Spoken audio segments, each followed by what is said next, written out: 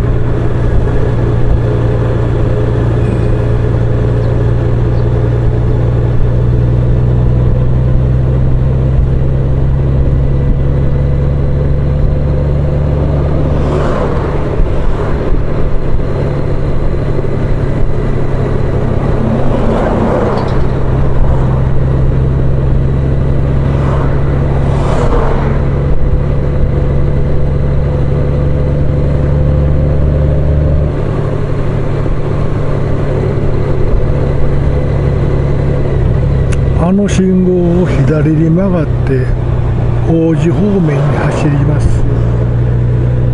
県道ナンバーは3あここも36なってるんか。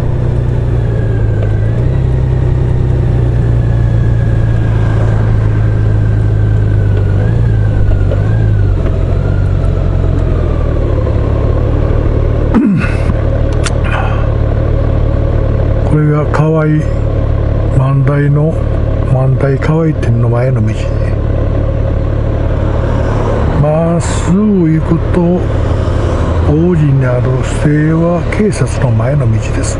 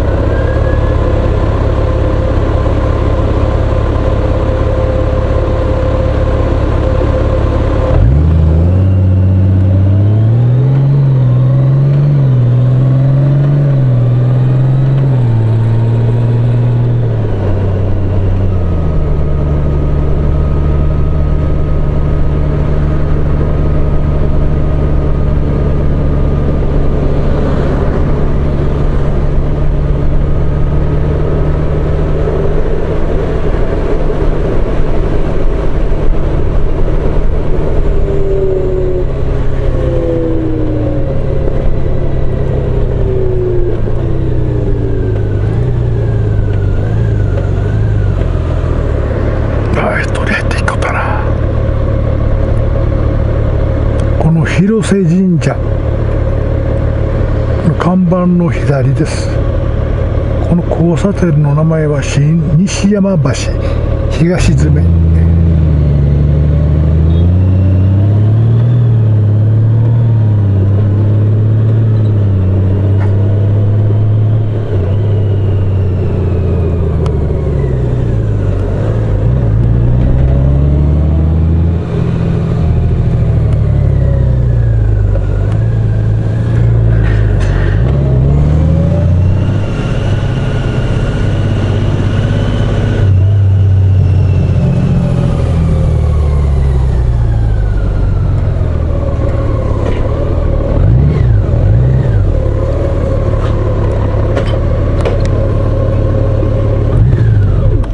到着